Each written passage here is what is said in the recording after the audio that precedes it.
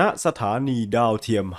100 ปีหลังจากที่ด็อกเตอร์นั้นมาเยือนครั้งล่าสุด ซึ่งด็อกเตอร์นะครับได้ตื่นขึ้นมาในห้องอะไรบางอย่าง เมื่อด็อกเตอร์เปิดประตูออกไปครับ ก็พบว่าเขานั้นอยู่ในบ้าน Big Brother ซึ่งลินดานะครับก็ได้มาต้อนรับด็อกเตอร์บอกว่ายินดีด้วย คุณนั้นน่ะเป็นสมาชิกใหม่ของบ้าน Big Brother ซึ่งตอนนี้นะคุณกำลังเล่นเกมอยู่ภาพก็ตัดมาที่โรสนะครับ ซึ่งตอนนี้นะครับโรสก็ได้ตื่นขึ้นมาในห้องเกมเหมือนกัน ซึ่งเกมของโรสนะครับได้มีชายคนหนึ่งผิวดำนะครับปลุกให้โรสตื่นขึ้น และพาโรสนั้นไปยังแท่นโพเดียมของเกมซึ่งเขานะครับก็ได้ย้ำเตือนกับโรสไปว่าให้เชื่อฟังคำสั่งของ Android น่าจะรอด ซึ่งก็ไม่มีผู้เข้าแข่งขันคนอื่นๆด้วยครับ และรวมถึงกระทั่งโพเดียมนั้นก็ยังมีชื่อของโรสอีกด้วย กัปตันแจ็คนะครับได้ตื่นขึ้นมาในห้องบางอย่างนะครับ ซึ่งเขากำลังนอนอยู่บนเตียง ซึ่งตอนนี้นะครับมีเหล่าหุ่นยนต์ 2 ตัวนะครับเข้ามาหากัปตันแจ็คแล้วบอกว่าเสื้อผ้าของกัปตันแจ็คนั้นดูเก่าจะไม่มีมันเป็นเสื้อผ้าตั้งแต่ศตวรรษที่20 เพราะฉะนั้นสมควรเปลี่ยนได้แล้วหุ่นยนต์นะครับเลยใช้ลำแสงอะไรบางอย่างเพื่อเคลื่อนย้ายล่างเสื้อผ้าของกัปตันแจ็คนั้นออกไป และภาพก็ตัดมาที่ด็อกเตอร์นะครับด็อกเตอร์ได้ใช้ไขควง sonic scan เพื่อที่จะพยายามหาทางออก แต่ก็เหมือนกับว่าก็จะทำไม่สำเร็จนะครับซึ่งด็อกเตอร์ก็มึนงงเป็นอย่างมากครับว่าเขานั้นมาอยู่ที่นี่ได้ไงจนกระทั่งด็อกเตอร์นะครับก็เริ่มนึกออกครับบอกว่าหลังจากที่เขานะนำไข่ไปไว้ที่ดาวสลิทีนแล้ว พวกเขาก็ได้ไปเที่ยวต่อที่ญี่ปุ่นในในปี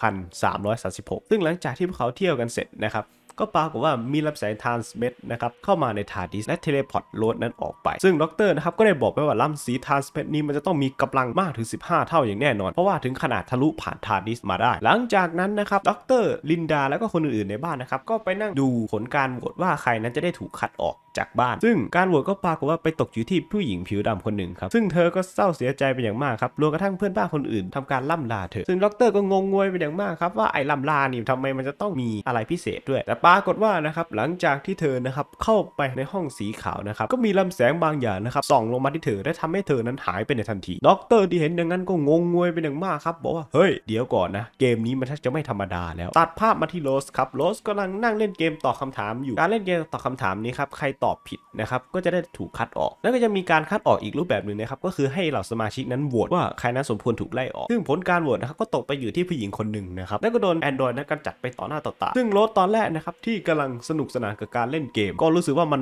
ชักจะไม่สนุกอีกต่อไปครับเนื่องจากว่ามีคนได้ตายเพราะลำแสงจาก Android และเธอก็ได้ตะโกนลั่นออกไปเลยว่าเธอนั้นอยากจะไปจากที่นี่ซึ่งผู้ชายผิวดำคนนี้นะครับก็ได้บอกกับโรสไปว่าว่าคุณต้องชนะเกมคุณถึงจะออกไปได้และมีชีวิตอยู่ตัดภาพมาที่กัปตันแจ็คนะครับที่สนุกสนานกับการเปลี่ยนเสื้อผ้าอยู่นะก็ปรากฏว่าหุ่นยนต์ Android นะครับคิดจะเปลี่ยนแปลงทำการศัลยกรรมหน้าของเขาโดยการตัดหัวของกัปตันแจ็คแทนที่ด้วยหัวหมาแทนกัปตันแจ็คครับก็ได้บอกกับหุ่นยนต์ไปว่าเขานั้นไม่อยากยิงพวกเธอซึ่งหุ่นยนต์ก็งงครับว่ากัปตันแจ็คมันไม่มีปืนไม่ใช่เหรอปรากฏว่ากัปตันแจ็คก็ดึงปืนขนาดจิ๋วนะครับโผล่มายิงใส่หัวหุ่นยนต์ทั้งสองตายเลยตัดภาพมาที่ด็อกเตอร์นะครับซึ่งด็อกเตอร์ก็ได้ถามลินดาไปว่ามันมีวิธีไหนบ้างที่จะออกไป ซึ่งลินดาก็บอกว่าคนก่อนๆนะมีบางคนถูกไล่ออกไป เพราะว่านั่นเป็นทำลายข้าวของด็อกเตอร์เลยทำการทำลายข้าวของนะครับเพื่อที่จะได้ออกไปซึ่งโปรแกรมเมอร์ข้างบนในชั้น 500 นะครับก็ยังงงอยู่ว่าไอ้ด็อกเตอร์นี่มันเป็นใครกันแน่ทำไมมันถึงเข้ามาอยู่ในเกมได้รวมกระทั่งคนอื่นอีก 2 คน นั่นก็คือโรสกับกัปตันแจ็คเหล่าโปรแกรมเมอร์นะครับก็ได้ตัดสินใจที่จะไปถามกับ controller นะครับแต่เหมือนกับว่า controller ก็จะไม่สนใจและชายคนนี้นะครับก็ได้บอก controller ไปว่าเขานั้นอยากดูเอกสารแฟ้มลับที่ 6 ซึ่งมันก็จะเป็นแฟ้มลับในการบันทึกการ transmat ผิดกฎหมายนะครับซึ่ง controller ก็บอกว่าเปลวสุริยันการจะเกิดขึ้น ซึ่งก็หมายความว่า controller นะครับก็ไม่สนใจที่จะให้โปรแกรมเมอร์เหล่านี้นะได้รู้ถึงข้อมูลด้วยเช่นเดียวกัน หลังจากที่ด็อกเตอร์ทำลายข้าวของเสร็จนะครับเขาก็ได้เข้าไปในห้องนะครับซึ่งเขาก็ได้พูดท้าทายไปว่าแน่จริงก็ฆ่าเขาสิพอนับถอยหลังจนครบนะครับ ก็ปรากฏว่าไม่มีลำแสงมาที่ด็อกเตอร์นะครับด็อกเตอร์ก็รู้ในทันทีว่าแท้จริงแล้วนั้นไม่มีใครคิดจะฆ่าเขาหรอกด็อกเตอร์เลยทำการใช้ไขควง sonic ครับสแกนประตูด้านหลังเพื่อที่จะออกไป ก่อนที่จะออกไปครับด็อกเตอร์ได้ชวนลินดากับผู้ชายอีกคนหนึ่งไปด้วยครับลินดาตอนแรกก็ไม่คิดจะไปนะครับส่วนผู้ชายอีกคนเขาก็ไม่ไปอยู่แล้ว แต่ด้วยการโน้มน้าวของด็อกเตอร์นะครับทำให้ลินดานั้นตัดสินใจที่จะไปกับด็อกเตอร์หลังจากออกมาข้างนอกเสร็จด็อกเตอร์ก็ได้รู้ในทันทีว่าไอ้นี่มันดาวเทียม 5 นี่หว่าซึ่งลินดานะครับก็ได้บอกกับด็อกเตอร์ไปว่ามันไม่มีใครเรียกว่าดาวเทียม5อีกตั้งแต่ร้อยปีก่อนมันเปลี่ยนชื่อเป็นGame Station ไปแล้ว ซึ่งแต่ละชั้นแต่ละชั้นก็จะมีเกมเป็นของตัวเองมากกว่าร้อยกว่าเกม และเกมที่ให้เล่นอยู่ในบ้านนั้นนะบ้านแบบเดียวกันถึง 60 หลังด้วยด็อกเตอร์เลยสงสัยว่าใครกันแน่ที่บงการสถานที่แห่งนี้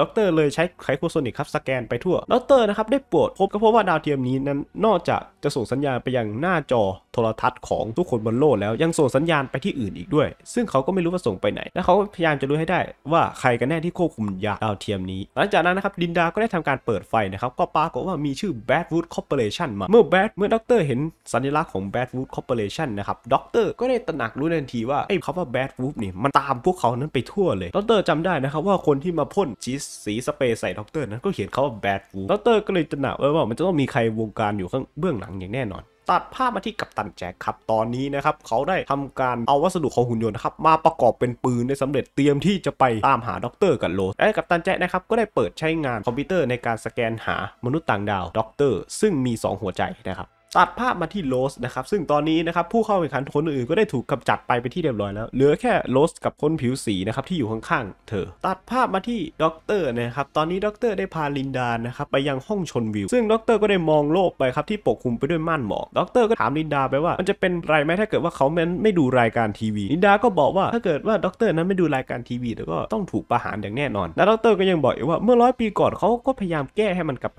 สู่เส้นทางที่ถูกต้องนั่นเองแต่ทำไมโลกมันถึงยังเป็นอย่างนี้ลินดาจึงเสริมว่าเมื่อร้อยปีก่อนนั้นน่ะมีเหตุการณ์ช่องทีวีนั่นเกิดดับกระทันหันทำให้เกิดผลกระทบต่อโลกเป็นอย่างมาก เศรษฐกิจล่มสลายทุกอย่างแย่ลงไปกว่าเดิมและมันก็เป็นจุดเริ่มต้นของนรกอย่างแท้จริงการที่เธอมาเล่นเกมนี้นั้นเธอนั้นไม่อยากเลยสักนิดเธอนั้นถูกสุ่มมาด็อกเตอร์จึงคิดว่าการกระทำของเขานั้นทำให้โลกนั้นเกิดแย่ลงกว่าเดิมและหลังจากนั้นนะครับกัปตันแจ็คนะครับก็ได้ประสบพบเจอกับด็อกเตอร์พวกเขาจึงทำการสแกนหาโรสนะครับซึ่งก็ปรากฏว่าโรสนั้นอยู่ที่ชั้น 407ลินดาก็ได้บอกไปว่าถ้าเกิดว่าโรสอยู่ที่ชั้น 407 นั้นจะต้องรีบไปเลยเพราะว่าตอนนี้โรสกำลังเผชิญหน้ากับหุ่น Android อยู่ และก่อนที่ด็อกเตอร์จะไปถึงนะครับ ก็ปรากฏว่าโรสนั้นตอบคำถามพ่ายแพ้ให้กับผู้ชายผิวสีข้างๆ และเมื่อด็อกเตอร์มาถึงนะครับโรสก็ได้วิ่งออกไปหาด็อกเตอร์ และก็ถูกหุ่น Android นะครับยิงจนหายไป กัปตันแจ็คที่เห็นดังนั้นโกรธจัดไปอย่างมากครับ พุ่งเข้าไปหาผู้เหล่าผู้จัดการเกม ซึ่งก็มีรปภนะครับเข้ามาจับตัวด็อกเตอร์กัปตันแจ็คไป พวกเขาทั้ง 3 คนนะครับด็อกเตอร์กัปตันแจ็คและลินดาแล้วก็กำลังโดนสอบสวนซึ่งพวกเขานะครับถูกตัดสินว่าจะต้องไปอยู่ในทัณฑสถาน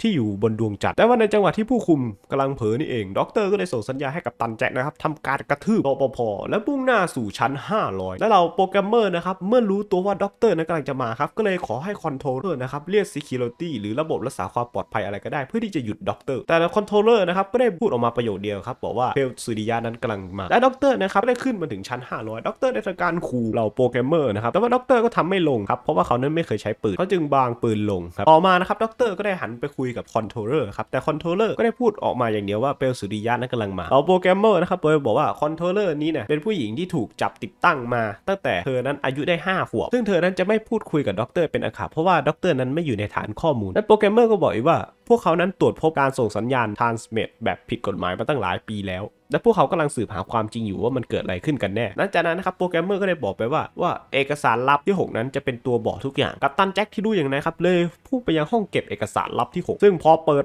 ประตูออกไปครับก็ปรากฏว่าเจอทาร์ดิสกัปตันแจ็คเลยเข้าไปในทาร์ดิสครับเพื่อเปิดคอนโซลของมันหลังจากนั้นนะครับได้มีเปลวสุริยะเกิดขึ้นนะครับทำให้เกิดไฟดับขึ้น และระหว่างที่ไฟดับนี่เองครับ controller นะครับก็ได้พูดขึ้นมากับด็อกเตอร์ว่าเธอนั้นเป็นคนเป็นคนพาด็อกเตอร์มาที่นี่ เพราะว่าด็อกเตอร์นั้น เป็นสิ่งเดียวที่เจ้านายของเธอนั้นกลัว เจ้านายของเธอคอยชักใยโลกอยู่เบื้องหลังเป็นเวลาพันๆปีแล้ว ซึ่งเจ้านายของเธอนะครับก็สะสมกองกำลังอย่างลับๆเอาไว้ การที่เธอพาด็อกเตอร์มาที่นี่นะเพื่อที่จะกำจัดเจ้านายของเธอ แล้วด็อกเตอร์ก็ถามไปว่าเจ้านายของเธอนั้นคือใคร แต่ด็อกเตอร์ก็ยังไม่ทันรู้ความจริงเลยครับปรากฏว่าระบบไฟนั้นได้กลับมาเสียก่อน หลังจากนั้นนะครับกัปตันแจ็คออกมาพูดคุยกับด็อกเตอร์กัปตันแจ็คนะครับเลยขอให้ลินดานะครับไปยืนตรงกลางซึ่งกัปตันแจ็คนะครับก็ใช้ลำแสงนะครับทำการยิงลินดาให้หายไป ซึ่งด็อกเตอร์ก็คิดว่ากัปตันแจ็คนั้นฆ่าลินดา แต่แท้จริงแล้วนะครับลำแสงนั้นเป็นลำแสง teleport และหลังจากนั้นกัปตันแจ็คก็ได้ teleport ลินดากลับมานะครับซึ่งลำแสง teleport นี้ครับเมื่อถูกยิงเข้าไปจะ teleport ไปยังตำแหน่งที่ถูกตั้งค่าเอาไว้ นั่นก็แปลว่าลำแสงที่ยิงออกมาจากตัวหุ่นยนต์นั้นก็เป็นลำแสง teleport ด้วยเช่นเดียวกัน ซึ่งก็หมายความว่าโรสนั้นยังไม่ตายพวกเขาก็ดีใจเป็นอย่างมากครับหลังจากนั้นนะครับ Controller นะครับหลังจากที่ไฟกลับมาก็ได้ถูกควบคุมอีกครั้งหนึ่งแต่ว่าเธอนั้นก็ได้ฝืนการควบคุมเอาไว้ได้ครับโดยการส่งพิกัดตำแหน่งของเจ้านายของเธอนั้นให้กับด็อกเตอร์ซึ่งหลังจากที่เธอส่งตำแหน่งพิกัดไปนะครับ เธอก็ได้ถูกเตะให้หายไปโรสนะครับได้ตื่นขึ้นมา